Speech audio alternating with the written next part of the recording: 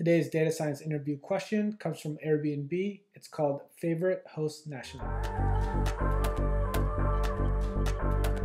So today's question is called Favorite Host Nationality. It's by Airbnb. The question reads, for each guest reviewer, find the nationality of the reviewer's favorite host based on the guest's highest review score given to a host. Output the user ID of the guest along with the host's favorite nationality. Both the from user and to user columns are user IDs. All right, so the first thing we're gonna do is take a look at the underlying data. Here we have two tables. One's called Airbnb reviews, the other is called Airbnb hosts. So we know from just this line in the question here, both the from user and the to user columns are user IDs. So we have from user here and to user here. If we preview this, we have essentially from user, so a user ID, to user ID, from type, to type, and then the review score. So the way I'm reading this is user ID 4 is a guess, and they're writing a review and giving a review score of 3 to the host. And this host user ID is 2. All right, and the same thing for this bottom one. A host, their user ID is 1, is writing a review for a guest, that guest user ID is 2, and the review score given by the host is 5. All right, now taking a look at Airbnb hosts, we have the host ID, which is really the user ID, the nationality of that host, the gender, and the age. So really the only thing I'm going to care about in this table are these two columns here, host ID and nationality. So now with an understanding of the underlying data, let's write out our approach before we start coding.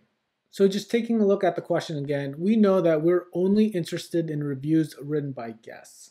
This table actually includes both, both uh, reviews written by guests as well as reviews written by hosts to guests. So what we want to do is really just isolate these records here where the from type is equal to guest.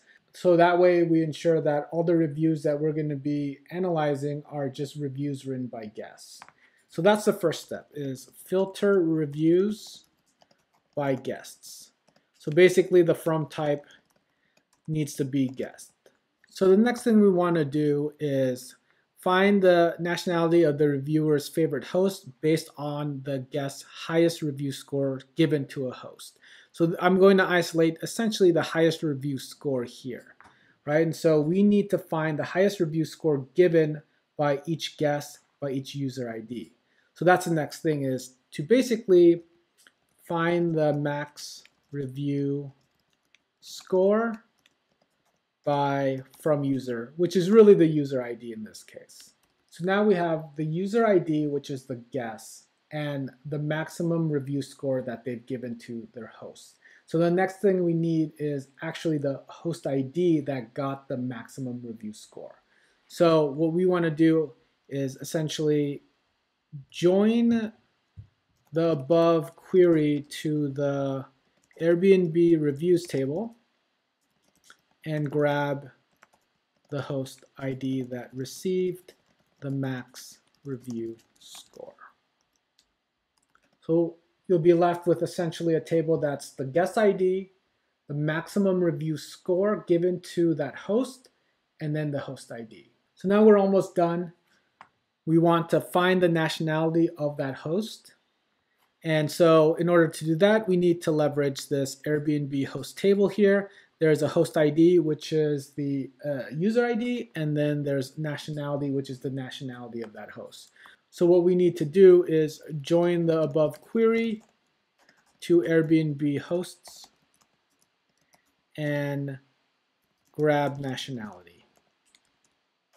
From there, we can output the user ID of the guest along with the with their favorite host nationality. So now I'll just say output user ID and nationality of host. All right, so that's about it for the approach. Now let's start coding.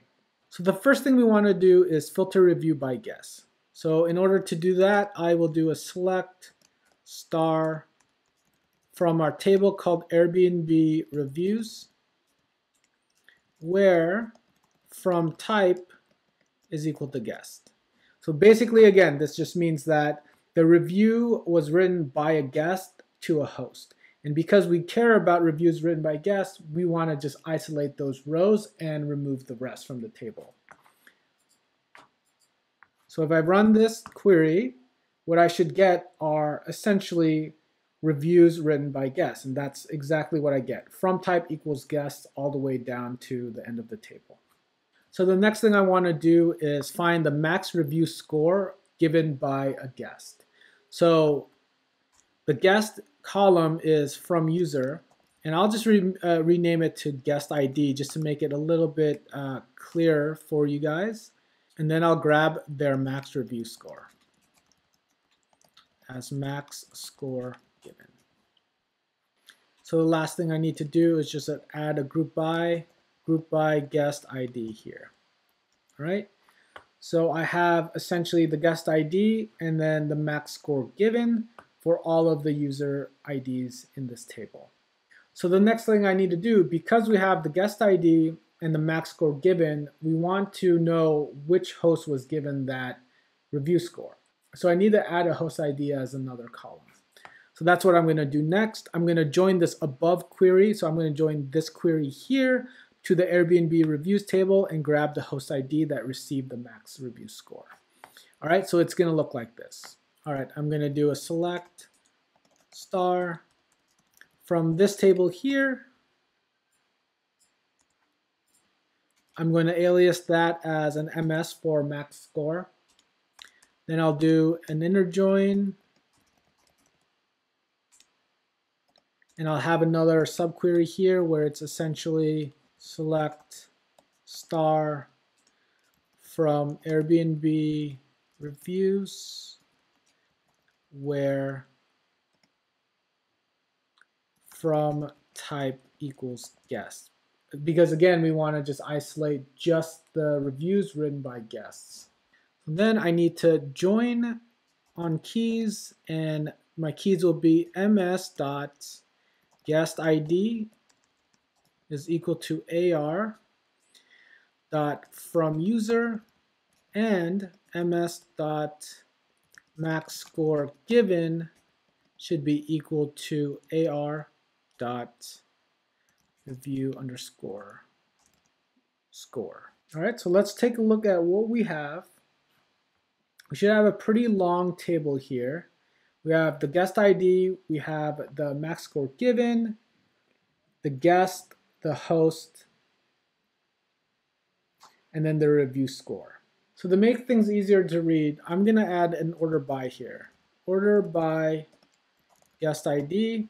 So what I can clearly see is that there are multiple guest ID that give the same max score, but two different hosts, right? This is two host ID 11 and two host ID 10.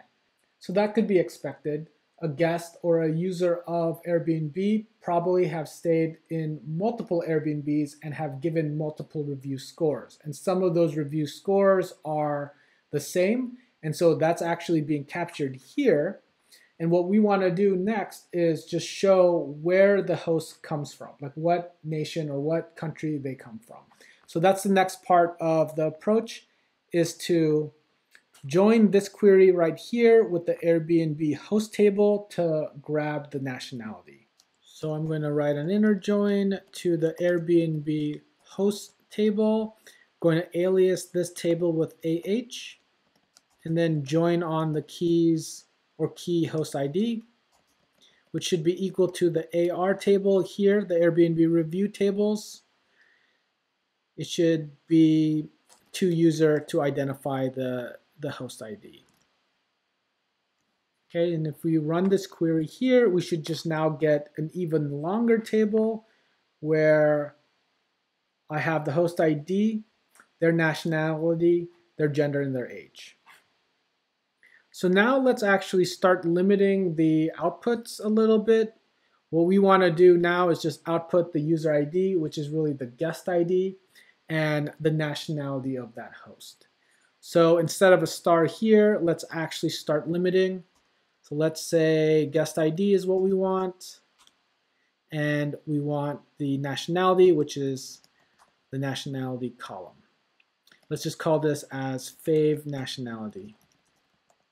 So you can see here when I ran this query here, we have the guest ID and their favorite nationalities duplicated, right? We have uh, guest ID 1, favorite nationality Brazil, guest ID 1, favorite nationality Brazil. These are probably two different hosts, two different trips, but this user just happened to have hosts that come from Brazil. So what we want to do is actually deduplicate all of this. One way to do that is just to add a distinct guest ID. And if I do that, I don't see any duplication anymore. All right, so if we check solution, we get it right. Another way to deduplicate data is to use a group by. So instead of adding the distinct up here, let's just run this code again so that I can show you that there are duplicates here. Let's just do a group by. So we'll add it right here, right after the last inner join. Group by guest ID, and then group by fave nationality. And here we get the same thing. We've deduplicated all of the duplication. So we have unique guest IDs throughout. All right, so if we check solution here, we actually see that our solution is correct. So there are two ways to actually deduplicate data. So that's it for this one.